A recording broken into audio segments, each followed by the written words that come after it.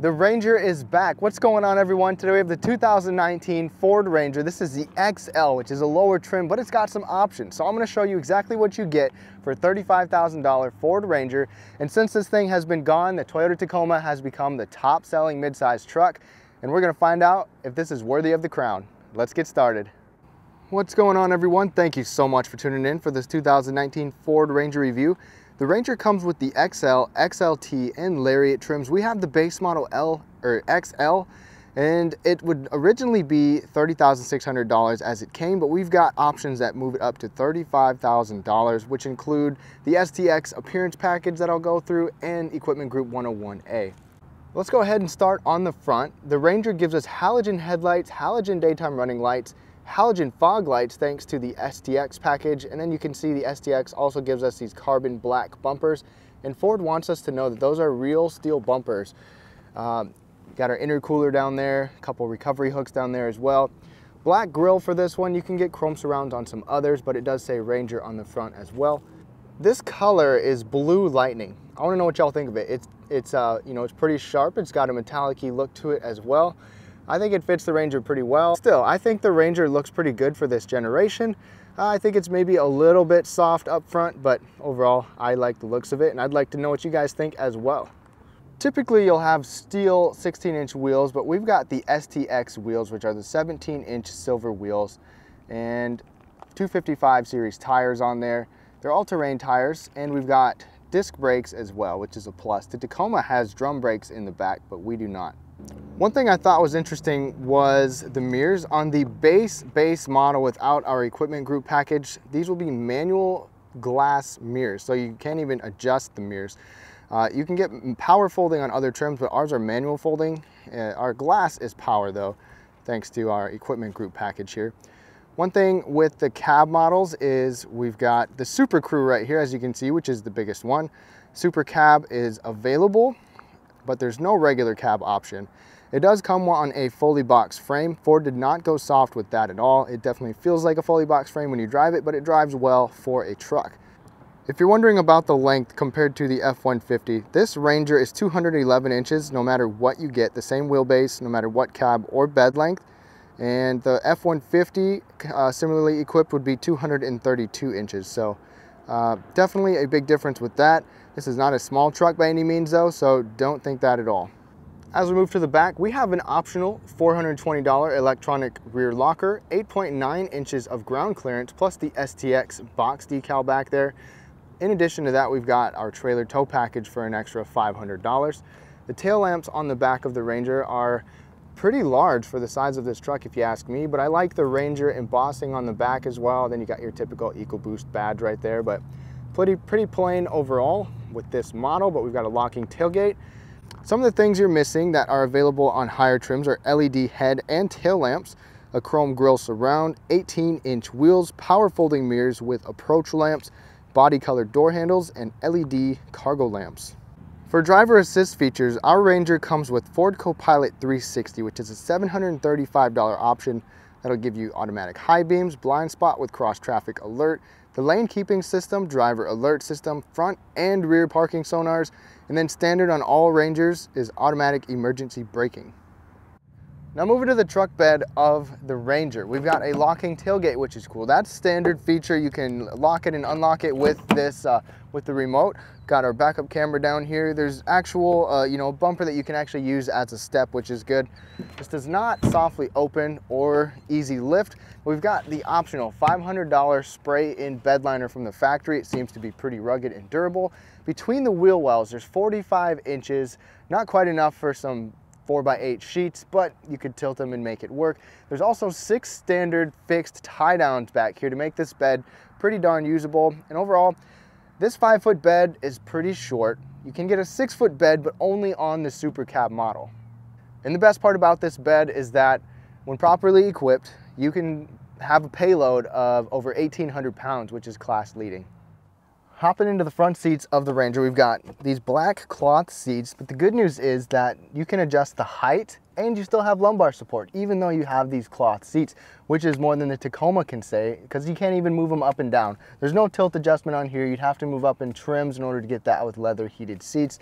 But these seats seem to be pretty darn comfortable. I mean, they're soft, they've got decent bolstering in them. Um, I've got no problems with the shaping of them. I can find a good driving position. And then the steering wheel here, it is polyurethane. It's not leather wrapped on our trim, but it's tilt and telescoping, and it's got a decent range of motion as well. And the good news is the passenger seat can also move up and down. Taking a look at the inside of the Ranger, we've got a soft armrest. This is hard touch up here, but we've got some softness there. A bottle holder that's pretty good size for my bottle, another bottle holder next to it, and a storage bin. Nice solid door slam. This truck feels and sounds very solid with one exception that I'll talk about. Right over here, got our lighting controls, truck bed light, fog lights, you can circulate through that, or uh, your interior lighting as well. And then we have a polyurethane steering wheel. Uh, it'd be nice to see a leather wrap steering wheel, but this should be pretty darn durable. We've got controls on each side, cruise control, controls for our display up above, radio controls as well. Definitely pretty easy to use, pretty straightforward. To start the Ranger, we've got a regular key fob. This is not the smart key system or the my key, uh, but you can get that on other trims. Pop out key, pretty basic, just like you've seen in some other Ford models. And then I'm going to scroll through some of these, uh, some of the screen right here. You got regular gauges on the side, and then you've got a trip computer in the middle and that is pretty accurate to what I've been getting. I was getting about 21 actually before I started filming and idling and stuff, so very impressed with that. It's kind of a mini version of what you get in the F-150 and some more information that you can scroll through on there.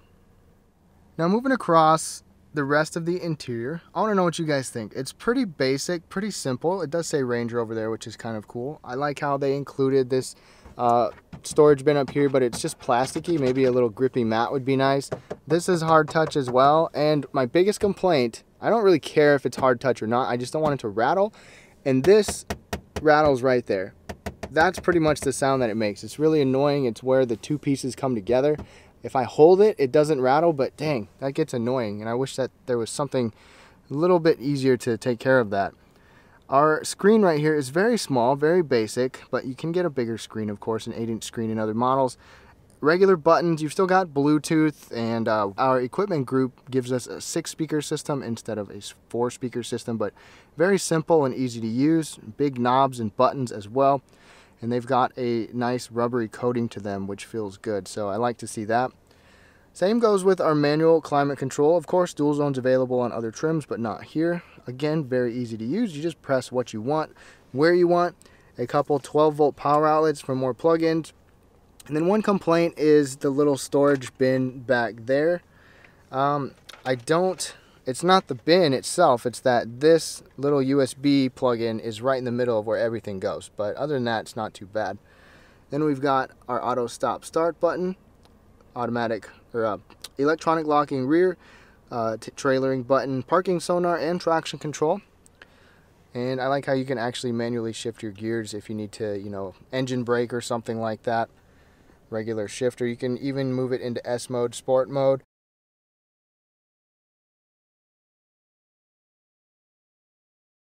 An actual handbrake right here. Bottle holder is good size and accommodating. This armrest is fairly soft and a decent width, not too bad. We have a moving tray here, but there's nothing else inside of it. USBs are in the back behind us, I'll show you. Locking glove box over here. I'm glad that it's locking. Some people disagree with me, but I think a locking glove box should be standard on every trim. And then it says Ranger up there. No automatic dimming mirror in our trim. We've got the regular flip mirror. And I don't think the base base actually gives you um, an option to do that. I think it's just with our equipment group. And then, interestingly enough, our visors don't even have mirrors right here. The entire visor can slide. So that was a little interesting to me. There's no sunroof in here as well. Something to consider. And then just your basic lights up here. So that works pretty well. Otherwise you can hit the button you know, basic, basic, no sunglass holder, nothing like that, but there is a grab handle. And then as we look back, visibility is actually not too bad. That rear window is pretty good size. You can fold the headrest down. So overall, uh, basic interior for this trim, which is what a lot of people are going to want and like. Something pretty durable. no maintenance, anything like that. Available on other trims missing in here, you can get some of the features will be ambient lighting, dual zone AC, leather shifter and steering wheel, automatic dimming rearview mirror, heated 8-way power leather seats, an 8-inch Sync 3 system with Apple CarPlay, Android Auto, smart two smart charging USBs, Sirius XM, plus a 7-speaker B&O sound system, push button start with the easy access, intelligent access, garage door openers, and then your trail control, which is like crawl control for off-roading or cruise control for off-roading, and then a terrain terrain management system to scroll through different terrains if you're off-roading as well. Let's go ahead and hop in the back seat here. Real quick on the door, we've got hard surfaces up top, soft armrest, good grab handle, bottle holder down there. The seats have some decent space to them. I'll show you that in a little bit, at least for a mid-sized truck, but we can fold these seats up. There's a little strap down here. Can lift that, then it will stay in place. It could go up a little further if you ask me, but that unveils some under seat storage area, which is really nice, especially that bin over there. That is pretty large. Then you can see a couple USB ports, 110 volt power outlet. So it's a real house plug, which is nice, and a little storage bin right there. We've just got these vinyl floor mats right here in our trim. Uh, now, when I get this thing out of the way, these headrests can fold down. And then I believe the only way to fold this down is way over there. And then that can fold down as well. There's not hardly any space behind the seat, but there is a jack over there. Little bits of room maybe for some small stuff, but I wish that this would lay down a little bit more flat, but at least you have that versatility. But my biggest complaint is that this is not a split folding seat. So if someone was gonna sit there, they would have to, you can't have the seat up at all. So that's one complaint. But now that I'm in here at five foot nine, sitting behind myself, I've got some decent foot space and some decent knee space, at least enough to be comfortable. I'm definitely happy with this. There is a floor hump in the middle, so you would have trouble fitting an adult right there. And with that seat a little further back, there's still a little bit of knee room as well. My headroom, sitting up tall, even with my hat, my head is not touching, and that's definitely welcome in a cab like this, so plenty of headroom overall. And then right next to me, we've got this folding armrest with a couple small cup holders as well. Under the hood of the new 2019 Ford Ranger, there's only one powertrain option, at least as of right now.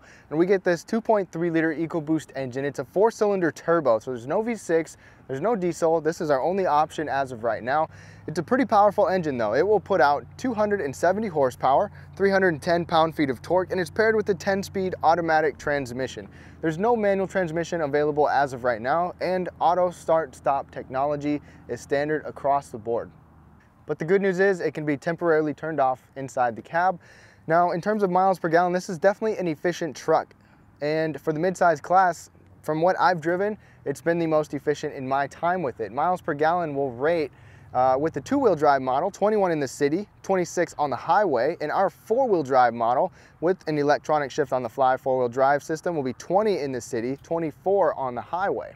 Max towing for the Ranger when properly equipped Right here we'll get 7,500 pounds and 1,560 pounds for payload, but the max payload is 1,860 pounds, which is the top. As far as the towing goes, only the diesel GM trucks can tow more, 200 pounds more. Otherwise, for gas engines, this is the leader for the midsize segment. And trailer sway control is standard, but there's no trailer brake control. All right, everyone, we are on the test drive for the Ford Ranger, and I'm on gravel right now. My first impression is that this definitely feels like a truck. It feels solid, which is good. I always appreciate that with this fully boxed frame. Now that we get rolling, we're about to hit some, some railroad tracks, and it dampens big stuff really well. Of course, it's gonna feel, you know, a little bit uh, bumpier and more jittery thanks to it being a, a real truck and real frame, but that's a good thing. That's what makes it so capable. The power of this EcoBoost engine is very good. So just scrolling about 30, 35, put my foot down. And the boost is real. I mean, the thing pulls pretty hard. I, am definitely pleased with that. I The transmission performance of this has far outdone that six speed in the Tacoma that I was recently in. I was griping about that and I've heard of problems with it. And this 10 speed has done really well, but there's no manual option put my foot down again, and you can hear that noise coming in a little bit. It doesn't sound very good. Uh, in fact, let me put it in S mode. So RPMs are about one and a half. Gonna shift it down. And now it's just over two, so S mode. Definitely, and it's holding RPMs. Definitely quicker to downshift. It's kind of a legitimate uh, sport mode. So that's kind of cool if you want to have some fun with it. I haven't personally really had it in that at all. Um, on this road, I can hear a little bit of wind noise when it comes to like noise, vibration, and harshness. Wind noise is there a little bit, but this is pretty quiet. I'm actually going to put this in my five likes and dislikes that it's a quiet ride, especially on a rougher road where you'd expect road noise to be coming through. It's not too bad. Overall, like I said, ride comfort is pretty good for what it is for being a truck. Uh, you can hit some big stuff and it dampens it really well but you do get some shake in here, you know, a little bit of jitter, but for what it is, it performs pretty well, especially for this class. Handling for this truck, it's it's nimble enough. The steering has, you know, it's it's kind of light. It it's maybe a little bit nimble. It's not sporty by any means. There's not a ton of feedback, but for being a truck, this thing drives really well. It's really easy to park. It's much easier to park than the F-150. I thought that that kind of had a, a heavier steering at low speeds, which made it a little difficult to maneuver. You had to, you know, really kind of crank on the wheel. But this Ranger, it's comfortable to drive. It handles good enough. The braking, find out right here. Gonna hit the brakes pretty hard. The brakes are a little soft. They do a good job of getting you stopped, but you have to push a little bit more than I would like to get it to stop, but it still works pretty well. So what do I think about this Ranger? And do I think it can take this top spot from the Tacoma? No, I don't think it can. I think it's really good and it's a very well-rounded truck. It's probably the most capable out of all the mid-sized trucks in terms of towing and, and payload. But I just think that the Tacoma has entrenched itself enough as the number one spot generally good reliability. There's been some hiccups the past couple years. And I think with a recent or a soon refresh, uh, an upcoming refresh, I think the Tacoma is going to stay on top. I really like the seating position in here better than the Tacoma. I like the back seat space in here better than the Tacoma. Uh, driving the two, I can't, you know, I'd have to drive them back to back to really get a good feel of that. But you can't get a manual here like you can with the Tacoma. So I've talked about the Tacoma a little bit because I think that it's important to know that that's what this is going to try to beat in sales. Now I want to know what you think. Do you think that this is going to surpass the Tacoma? You can get a lot of features in here if you get up to the Lariat trim, but it gets pretty darn expensive too. This being the XL base with some additional options is still $35,000. That's pretty expensive for a truck that doesn't have you know, power seats, leather seats, heated seats, uh, a touchscreen, Apple CarPlay, Android Auto, but it does have some of the safety tech like lane keep assist, which it's actually worked pretty well to keep me in my lane, which is nice. I appreciate that. Automatic high beams are handy as well, but the base, base, base with no options is really bare bones. So something to think about. But that's going to be the conclusion of this video. I want to know what you guys think down below. Please consider subscribing for more reviews like this short five like reviews and quick reviews on Everyman Driver channel. So thank y'all so much for watching. Hope you guys have a fantastic day and we'll catch you next time.